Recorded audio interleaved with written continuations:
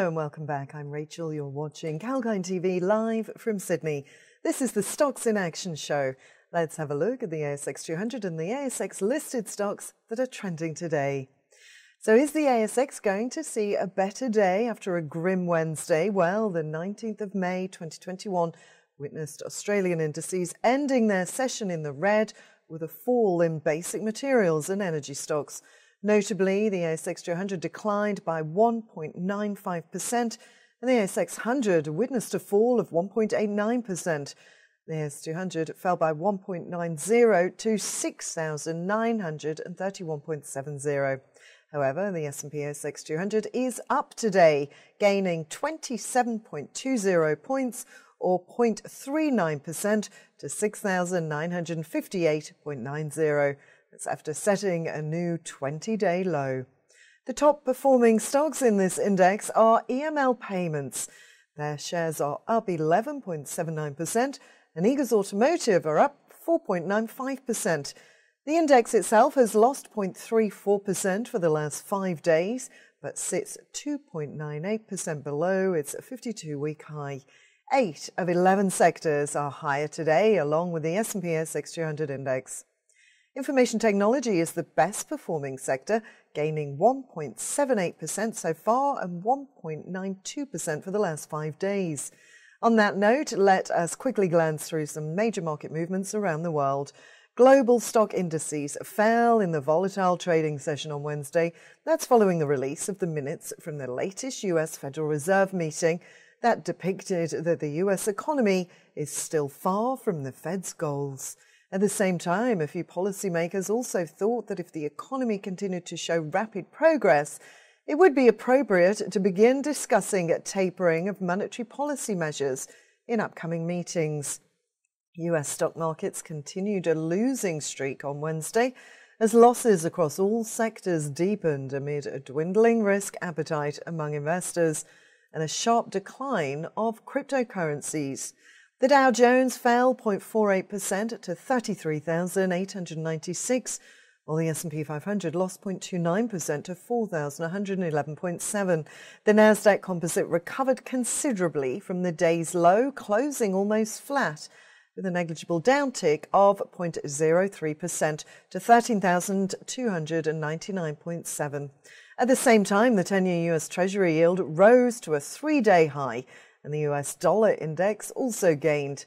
Cryptocurrencies plunged to mark their worst fall this year. That's after China's crackdown.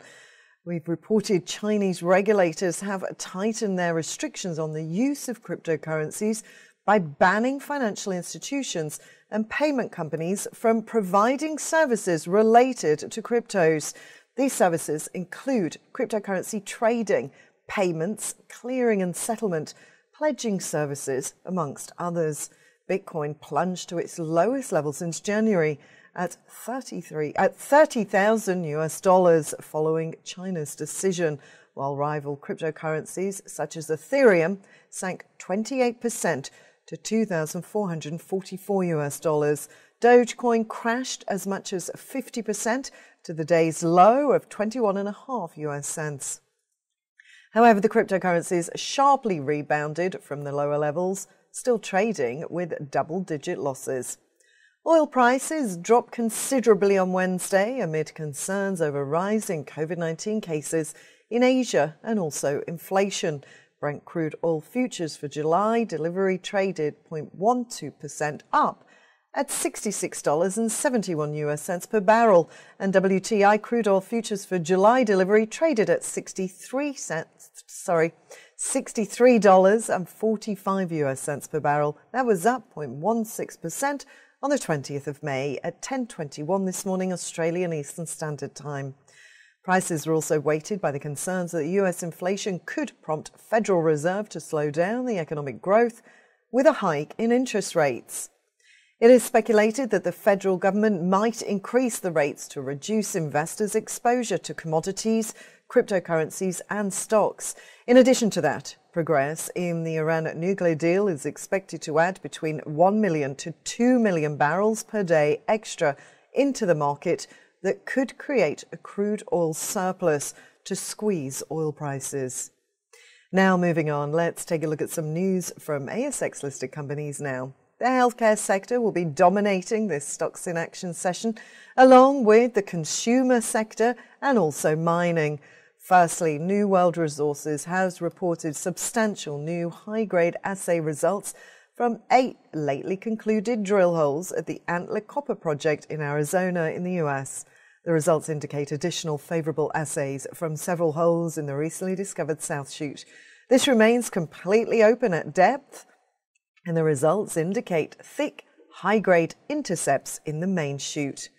Assays are pending for 13 other drill holes that were completed. Meanwhile, shares in New World Resources last traded at 10 cents. That was at 10.41 this morning, Australian time. Moving on now to Peppermint Innovation. They've inked a payments facilitator agreement with the operator of GCash, G-Xchange. Any Filipino GCash mobile wallet holder shall have the capacity now to pay for goods and services from the bizmoto platform using their mobile GCash wallet. A bizmoto merchant, an agent, or Bismo Go rider can accept payment directly from a mobile GCash wallet whilst offering goods or services. Peppermint Innovation stock previously traded at 2.2 cents at 10:41 this morning Australian time. Moving on now, leading media services provider Aspermont reports revenue from continuing operations of around $7.3 million. That's for their first half of their financial year. This shows a decline of 10% on the prior corresponding period, while the gross profit increased by 6% to $4,592. Over the period, their balance sheet has strengthened and has zero debt with a growth of 1,943% in cash at the end of the period. The company looks forward to substantial improvement in all bottom line financial metrics, as well as a shift from conservative to proactive investment approach. Shares in Aspermont stock last traded at 2.4 cents.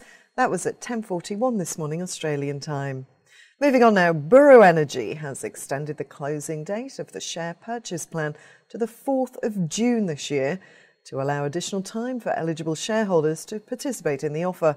The company remains on track to begin the 2021 exploration drilling program in mid June that's as the first rig loads are due to be picked up in the coming weeks and site works are near completion.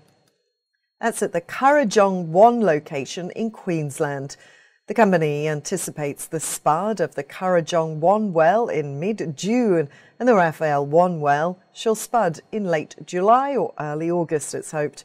Shares in Buru Energy traded at 15.5 cents at 10.41 this morning Australian time.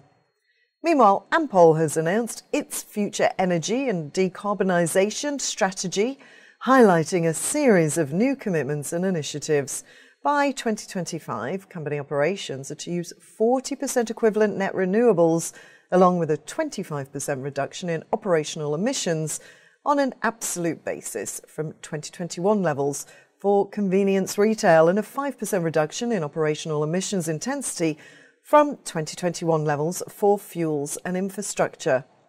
By 2030, operations are set to use 50% equivalent net renewables with a 50% reduction in operational emissions on an absolute basis from 2021 levels for convenience retail and also a 10% reduction in operational emissions intensity from 2021 levels for fuels and infrastructure. So, looking forward to by 2040, net zero emissions from operations on an absolute basis should see these results. A maximum of $100 million spend on the future energy projects is set to take place by 2025.